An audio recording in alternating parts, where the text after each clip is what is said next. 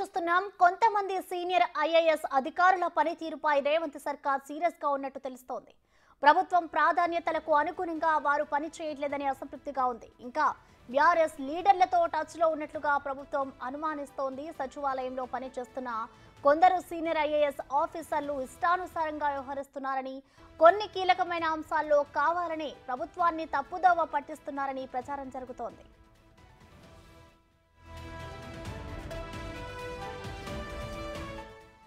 సమస్యల్ని పరిష్కరించాల్సిన ఆఫీసర్లే కొత్త ప్రాబ్లమ్స్ను క్రియేట్ చేస్తున్నారనే అసహనం ప్రభుత్వంలో నెలకొంది. ఏదైనా సమస్య ఏర్పడితే వెంటనే గుర్తించి సాల్వ్ చేయడంలో విఫలమవుతున్నారనే అభిప్రాయాలు వ్యక్తమవుతున్నాయి.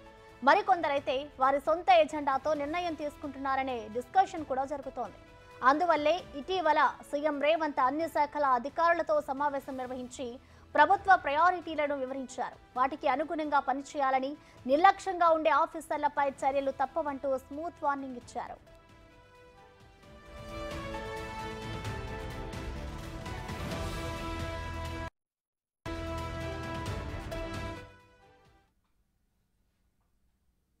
ఇదే అంశానికి సంబంధించిన మరింత సమాచారాన్ని మా డిప్యూటీ బ్యూరో చీఫ్ సాదిక్ లైథర్ అందిస్తారు. సాదిక్ చెప్పండి కొంతమంది ఐఏఎస్ల తీర్పై అయితే కాంగ్రెస్ ప్రభుత్వం సీరియస్గా ఉన్నట్లు తెలుస్తోంది.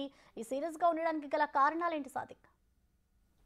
ప్రసన్న ముఖ్యమంత్రి రేవంత్ రెడ్డి పరిపాలన పైన పూర్తి స్థాయిలో దృష్టి సారించడం జరిగింది. సెక్రటేరియట్ అంటే పరిపాలనా కేంద్రమైనటువంటి సెక్రటేరియట్ ఉద్యోగస్తులపైన అదేవిధంగా ఐఏఎస్ అధికారులపైన ముఖ్యమంత్రి రేవంత్ రెడ్డి తీవ్ర అసహనం వ్యక్తం చేస్తున్నారు అసంతృప్తి వ్యక్తం చేస్తున్నారు. ఎందుకంటే గత ప్రభుత్వం సంబంధించినటువంటి జాడలు అదేవిధంగా వారి విధానాలు అట్లే ఉన్నాయి. వీళ్ళు పద్ధతి మార్చుకోవాలని కూడా ఆయన ఆదేశాలు జారీ చేయడం జరిగింది హెచ్చరించలు కూడా జారీ చేయడం జరిగింది. ప్రధానంగా ఉదాసీనంగా వ్యవహరించేటువంటి అధికారులపైన ఆ, వేటు తప్పదన్నటువంటి సిగ్నల్స్ కూడా ఇప్పుడే ఇవ్వడం జరిగింది. అంతేకాకుండా సచివాలయంలో ఉద్యోగులు కూడా విధి అంటే టైంకు రాలేకపోతున్నారు. సో సమయభావాలను కూడా పాటించాలని కూడా ఇప్పటికే అధికారులకు ఆదేశాలు జారీ చేయడం జరిగింది. సో అధికారులు కింది స్థాయి అధికారులు ఇప్పటికైతే ఉదయం పది గంటలకైతే వస్తున్నారు. కానీ కొంతమంది ఐఏఎస్ అధికారులు ప్రభుత్వంలో ఏం జరుగుతుందో పూర్తి వివరాలన్నీ కూడా ప్రతిపక్ష పార్టీకి పంపుతున్నారన్నటువంటి వాదన కూడా సెక్రటరియట్లో బలంగా వినిపిస్తుంది. ఎందుకంటే ప్రభుత్వంలో తీసుకున్న ప్రతి అంశం పైన కూడా పదేళ్ళ పాటు ఉన్నటువంటి అధికారులు వారి యొక్క ఎక్కడెక్కడ ఏం జరుగుతుందో పూర్తి స్థాయిలో కూడా ప్రతిపక్షానికి చేరవేస్తున్నారన్నటువంటి అనుమానాలు కూడా ప్రభుత్వానికి చేరవేస్తుంది. అలాగే ఇంటెలిజెన్స్ అధికారులు కూడా చెప్తున్నారు. సచివాలయంలో జరుగుతున్నటువంటి ఈ ఐఏఎస్ ఆఫీసర్ కోటరీలో జరుగుతున్నటువంటి విషయంపైన కూడా ముఖ్యమంత్రి రేవంత్ రెడ్డి ప్రత్యేక ఫోకస్ పెట్టడం జరిగింది. సో పని టాప్ టాప్ ప్రియారిటీ అంటే కాంగ్రెస్ ప్రభుత్వం తీసుకున్నటువంటి ఆరు గ్యారంటీ స్కీమ్స్ కానీ ప్రజా సంబంధించినటువంటి వ్యవహారాల్లో ఎక్కడ కూడా ఉదాసీనంగా కానీ నిర్లిప్తంగా ఉంటే మాత్రం శిక్ష తప్పదు అని కూడా ఆదేశాలు ఇచ్చారు. అంతేకాకుండా జిల్లాల పర్యటన కూడా చేయాలి కొత్త ఇన్నోవేటివ్గా ఆలోచించాలి. ఐఏఎస్ అధికారులు అనేవారు దేశానికి ఆదర్శంగా ఉన్నటువంటి మీ అధికారులు ఎందుకు పనిచేయలేకపోతున్నారు? ప్రభుత్వం దగ్గర అన్ని వసతులు ఉన్నాయి మీకు గత ప్రభుత్వం కంటే ఈ ప్రభుత్వంలో చాలా ఫ్లెక్సిబుల్గా ఉంది. మీకు చాలా పనులు చేసినటువంటి ఆస్కారం ఉంటుంది. అయినప్పటికీ మీరు ఎందుకు ఇట్లా ఉదాసీనంగా వివరిస్తున్నారని కూడా ముఖ్యమంత్రి రేవంత్ రెడ్డి అధికారులపై ఆగ్రహం వ్యక్తం చేయడం జరిగింది. కొంతమంది మాత్రం ఇంకా బీఆర్ఎస్ పార్టీకి ఇక్కడ నుండి సమాచారాన్ని చేరవేస్తున్నారని కూడా సచివాలయాల వర్గాల్లో వార్త గుప్పమంటుంది. మరోవైపు ముఖ్యమంత్రి కార్యాలయం వర్గాలు కూడా ఈ విషయాన్ని కూడా ఆ, రూఢి చేస్తున్నట్టు సందర్భం కనబడుతుంది. అటువంటి అధికారులను కూడా ఇప్పుడు ఏరివేసేందుకు కూడా ప్రభుత్వం అయితే సిద్ధమవుతుంది. వారిని ట్రాన్స్ఫర్ చేయాలా లేకపోతే ఎట్లా చేయాలన్న పైన కూడా ఒక చర్చ జరుగుతున్నట్టుగా తెలుస్తూ ఉంది.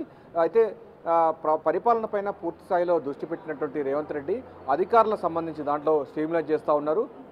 మరోవైపు సెక్రటరియట్కు ఆలస్యంగా వచ్చేటువంటి ఉద్యోగులపైన చర్య తీసుకోవాలని కూడా ఆగస్టు పదిహేనో తారీఖు ప్రభుత్వం ఇప్పటికే రెండు లక్షల రుణమాఫీ ఇస్తామని చెప్పింది.